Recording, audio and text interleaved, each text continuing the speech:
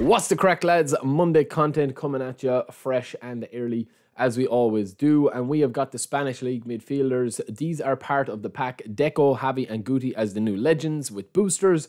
And then we also have some brilliant picks in here as well with Pedri, who has got 35 levels. Camavinga's got 36 levels, and DePaul has 31. As well as that, we've got a couple of other players in here that are definitely worth looking at, um, which we'll get into in another video. But for now, we are going to focus on the three legends here because yes, Deco and Xavi have 35 levels. I said in my Sunday video yesterday in the preview for today that if these legends were going to have 30 plus levels, it was going to be insane uh, because you could play them in multiple different ways and different uh, positions. And also, Guti is definitely one of my favorite players to use in eFootball 2023 and 2024. Um, and he is definitely looking like it's a very strong card, especially that people's contract might be going with him, right? So we're actually going to start with Xavi here, who is. Lads, this card is ridiculous, man. 35 levels on this card is really, really strong, right? When we throw the booster on him, he's going to get a boost to his low pass, his lofted pass, his curl, and his kicking power, right? We're also going to be getting a plus two manager boost with this as well. So his low pass at level one with the booster is going to be 91 overall, just for being in the team with a playstyle proficiency that suits him and his lofted pass is going to be 83. And of course, the kick and power and curl are less important. Now, I would definitely be playing Xavi as a attacking midfielder because of his lack of defense and his lack of physicality and stuff like that.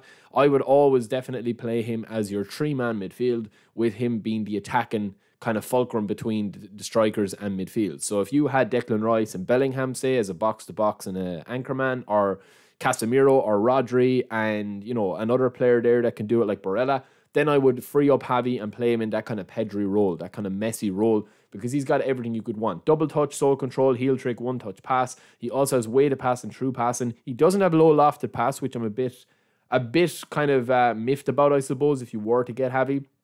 But everything else is phenomenal, right? So if we take a look over at him on eFootball DB with those 35 levels, and we're going to be getting with these stats here, we're going to be getting a plus four to low pass and lofted pass. So when I'm training him up here, I'm probably going to go to seven just to get that lofted pass at 90. Now, I would kind of argue that you don't really need the lofted pass at 90 because you're not going to be spraying balls too you know too far away he's going to be all about like kind of like little triangles touch and go um, I would definitely focus as an attacking midfielder on his acceleration and balance because they're his weak points. But I mean, I do like leaving that at that for now, right? Dribbling, then I probably would try and get his dribbling up to 88 to have that as the 90 zone. You're going to have 97 ball control, you're going to have 90 dribbling, and you're going to have 93 tight possession. Dexterity is the big one here for me, so I'm probably going to go to maybe about 18 here or 14 here. Um, and then uh, that obviously only leaves us with 72 speed. I know a lot of people will say that that 72 speed is too little, but for an attacking midfielder player, if you are picking up pockets of space like this with Xavi, you won't really need that. Plus, for if you are using Ten Hag, you're going to be getting a plus three boost, which will give you 75 speed. Now, if you wanted to roll that back a little bit, I definitely think you could with the balance and put, you know have him like don't worry too much about the acceleration and uh, uh, offensive awareness, you could just take four off that and give him give him four more into lower body, which will give you 78 speed and 88 stamina, which will turn into 90. That's a phenomenal card for an attacking midfielder, as well as having the finishing at 77. So that's a really strong card for that. And then if you were to train him up with a couple of little skills, I probably would give him low lofted pass. Um, that is kind of the one skill that I would give him that I think is a must if you're playing him as an AMF. Definitely, right? Next up, we have um, Deco, right? His Barcelona teammate from 05 06. Again, he's got unwavering form.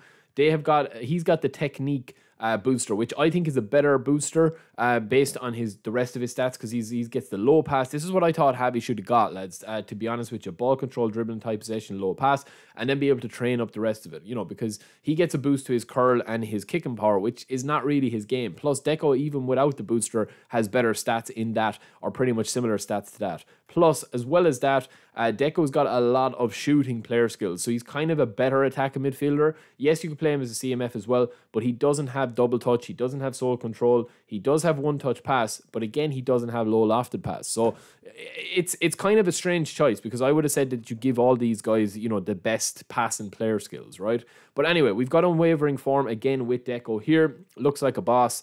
And of course, this is going to be a 35 level player as well. So when you are training him up, I would say that you've got a similar kind of uh, thing to train up with with Deco, right? So again, we're going to be getting a plus four to ball control, dribbling, tight possession, and low pass. So we don't want to go higher than we need to with any of those, right? So for the passing, because we're going to be getting a plus four, I would probably leave that at 91 with the manager boosts and stuff like that. And then a plus four on these, I'm probably going to leave that at 86. So when you are actually having this player here, his base stat is going to be 86. When you get the manager boost for ball control, it's going to be 88. And when you get the booster in game, it's going to be that as well. So that is where I would go with it. Um, if you are going that route with him, I think that that's definitely something to, to keep an eye on. You just have to train him up a little bit there.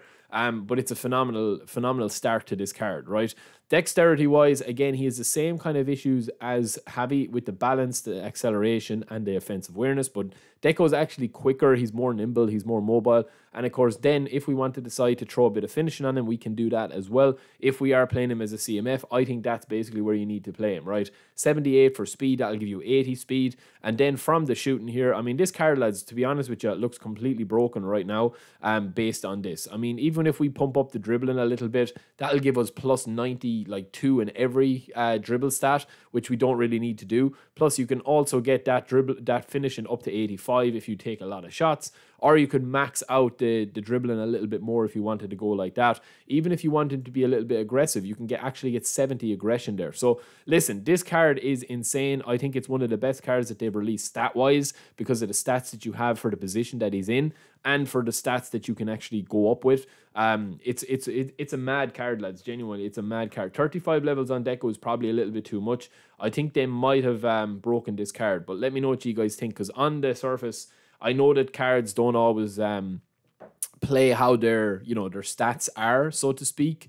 Um, but definitely, this is definitely a card that you could that you could have um, very, very, very strong uh, in the game because I think even if you get his dexterity and take away some of his finishing, I mean, you can get his dexterity up there to 88, which means that you're going to have ball control, dribbling, tight possession, low pass, lofted pass, um, free kicks and acceleration balance all into the 90 zone, which has to be, you know, one of the best cards on paper that they've ever released in terms of just pure raw stats, right?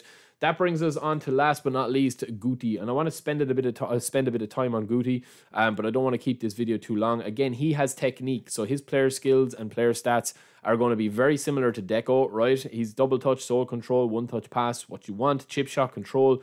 He has super sub as well, which I think is the biggest thing with this card. Because if you have got a beastly squad at the moment, it might be hard to integrate Deco and Xavi into it because of their lack of physical presence. If you are used to playing them as a CMF, if you're used to playing Messi as an AMF or Neymar, or any of those boys, you can just slot him in very, very nicely. But I think with Guti, he offers something completely different. 31 levels, he's got excellent player skills, he's got excellent player stats, he's got brilliant shooting stats as well. He is the ultimate touch, go, and touch and finish. That is what I would call him. He's a touch and finish, kind of touch and go type player. Very quick on the ball. He's not going to be as fast, but when we train him up, we're going to show you a lovely build again. Now, we're definitely going to be using him as an AMF, right? 100% using him as an AMF.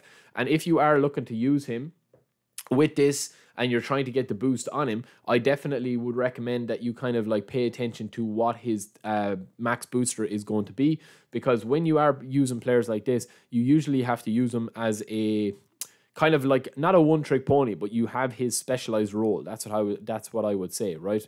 So if we are using that and the booster is going to be given a low pass boost, we're also going to be getting the plus two to the manager boost. That means that we're going to be getting a plus four to his low passing. That means that we just have to go to 86 with that. And it means that we don't have to go any higher than 86 with any of those stats there, right? So even at that, eight into passing, six into dribbling, that's going to give us a very, very beastly player with ball control, two low pass, all into the 90s. Those four stats are going to be in the 90 zone, right? Shooting, I would definitely say 78 shooting to give you a plus two onto that to get you 80 shooting. Curl is going to be very something that we look at again in a second. But the big thing with this card, lads, is getting his stamina up to at least 78. That will get his speed up. And then you can pop the rest into dexterity, which will give you 88 acceleration. I have used this Guti card or the previous Guti card, and it's a monster. His player ID, his positioning, everything is brilliant on it. His um, player skills, everything. Like these cards are just ready made to dominate if you were using him as a super sub, I think this card even gets more exciting because I would actually be taking away something like this, maybe, and going the speed. I wouldn't be going that high with it. And I would probably potentially put up his shooting to go like 83 so that you'd have 85 finishing when you bring him on as an attacking midfielder. So they're two little quick builds. But lads, we will focus again on these, which I think these over nearly shadow the legends if you have a better chance of getting them. You know, Pedri, DePaul, and Camavinga look insane. So if you wanted me to do a video on them and show you the builds, show you the review on them, I probably will do it. Just give me a little uh, comment in the messages below and uh, we will get on it. So until then, lads, I will talk to you in a bit. Let me know if you're going to spin or skip. Peace.